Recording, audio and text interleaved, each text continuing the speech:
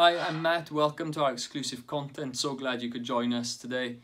We're in a series at the moment called Word His Word Empowers Me, all about how the scripture and the revelation of who Jesus is empowers us to live life to the full. And that's because in Him we discover who we truly are. That's how that makes sense.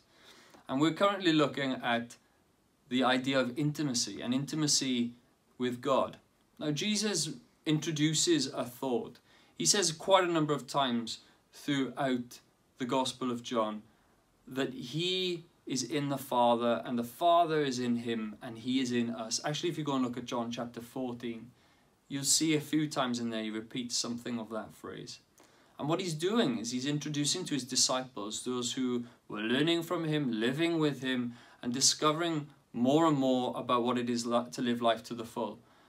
He was introducing to them not only was God Father, but he was close. He was with them, he was present. And he says that in reference to after his resurrection, because in a, in a short while Jesus is crucified, but he doesn't stay dead, he rises again.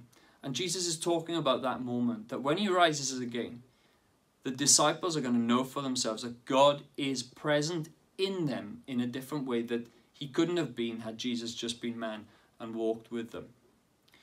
Now, in many contexts, it's often heard, often expressed, perhaps through prayer or the way someone invites God, or maybe it's a moment of desperation where people cry out and they say, God, would you come and show yourself? Good, God, would you would you come into this situation?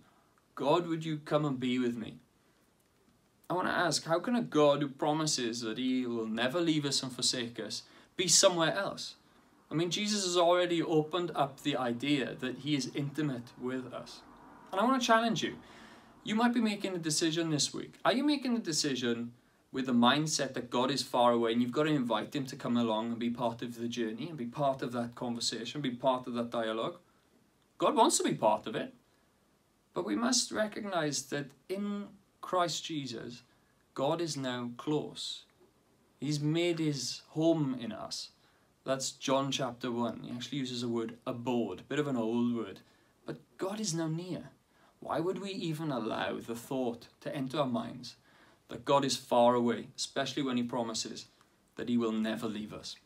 So I just want to encourage you in the decisions you're making this week, make them with the mind, make them with the reality and the understanding and from the revelation that God is with you in that moment. He's for you, He's present, and He is inviting you into life's great journey with Him in a way that you know He is fully present.